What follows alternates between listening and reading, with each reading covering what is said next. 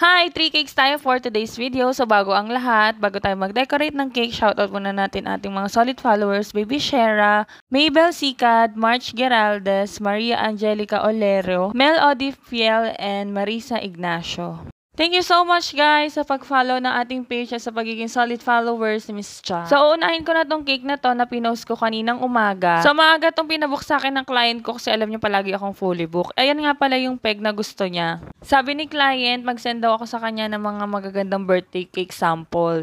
Tapos, iyan yung isa sa mga na-send ko sa kanya na galing sa Pinterest. Dami mo talaga makukuha ang idea sa Pinterest, lalo na yung mga elegant cakes. Nakakatuwa nga yung mga po-order ko ngayon kasi halos pare-pare sila ng team or ng design. Very elegant at classy yung pagkakadesign ng ating mga cakes ngayon. So, sana matapos niyo itong video na Kung to. Makikita nyo, talagang pulido ako magpakinis ng cake kasi gusto ko makinis na makinis talaga. Hindi man ganun ka 100% na super kinis, basta makinis. Hindi ko masyadong time-lapse yung video na to para mapanood nyo. Yung icing pala na ginamit ko dito guys is whipped cream. Bakersfield Whip It.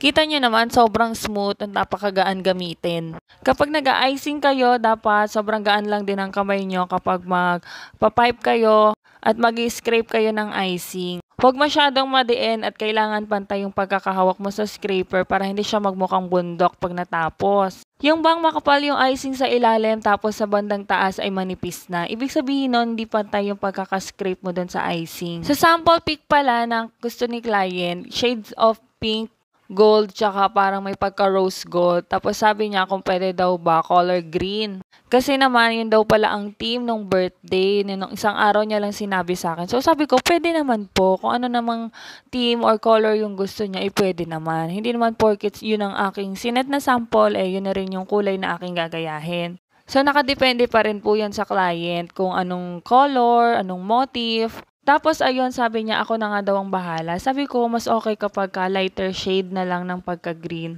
Para very aesthetic pa rin yung kakalabasan ng outcome. Tapos yung drape color white na lang.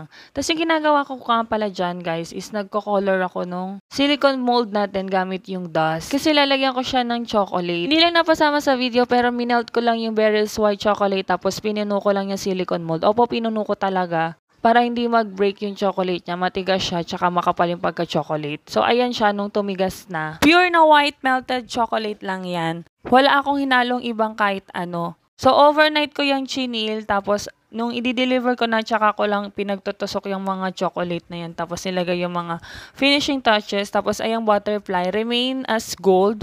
Kasi daw, ang color team nung birthday ay green, gold, black, and hindi ko na alam yung isa. Basta ayun, may gold.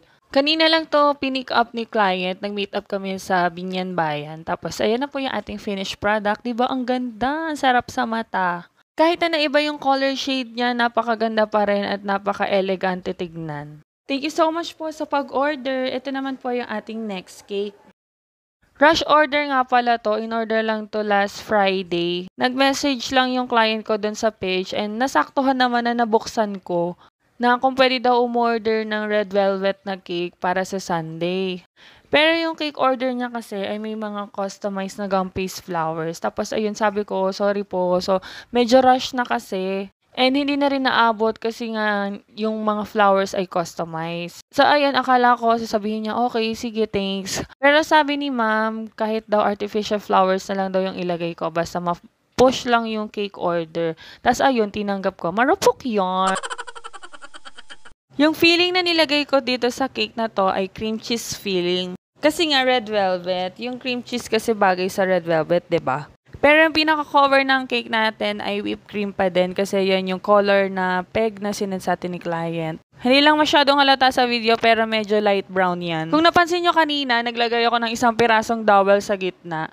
Sa mga videos ko, bihira nyo lang ako makikita naglalagay ako ng dowel. Kasi yung common na umu-order sa akin ay malalapit lang at ako mismo yung nagdadala or nakikipag-meet up. So, sure ako na safe yung cake kahit na walang dowel. Pero this time, naglagay ako kahit isa lang kasi ito travel daw yung cake from Binyan to Kabuyaw. Tapos nakamotor lang pala sila.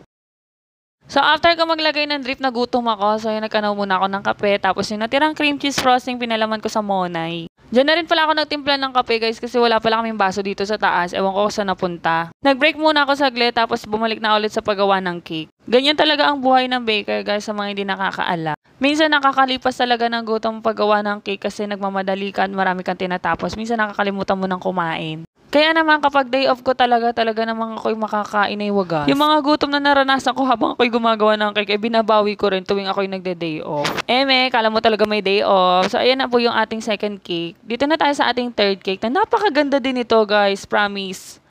So, yung cake na to ay para sa debut. Yan yung pinaka-peg. Tapos, gagawin daw yellow team. Tapos, may sunflower. Yung cake sample na yan ay nagawa ko na rin before. So, bahala na raw ako kung anong shade ng pagka-yellow. So, napili ko is light yellow lang kasi maganda siya. Kasi nga mahilig ako sa mga malalamig sa mata na cake.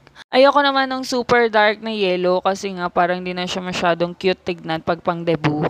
Naka-timelapse na yung pagpapakinis ko dito ng cake, guys, kasi alam nyo na yan, napakita ko na yan ng maraming beses sa videos ko. Basta panoorin nyo lang palagi yung videos ko and sundan nyo lang yung mga tutorials na tinuturo ko. Kahit pa paano naman siguro ay eh, makakakuha kayo ng technique sa mga cakes na ginagawa ko. Yung drip na yan na color white ay whipped cream lang yan na microwave ko lang ng ilang seconds. Tapos ayan na rin yung ginamit ko pang drip kasi sobrang dali lang gamitin. Tapos puting-puti talaga. Unlike sa white chocolate, kapag tinunaw mo, medyo yellowish siya. Tapos mag-add ka pa ng food color. So, ayan na lang yung ginagamit ko na pang dip kapag ka white na white yung kailangan ko. Yung ibang flowers dyan ay edible, yung iba naman ay hindi. Tapos yung mga French macarons dyan na fondant design ay edible din. So, ayan na guys. Ito na yung ating finished product. Thank you so much sa pag-watch hanggang sa dulo. Please like and share this video guys. Thank you. Bye-bye.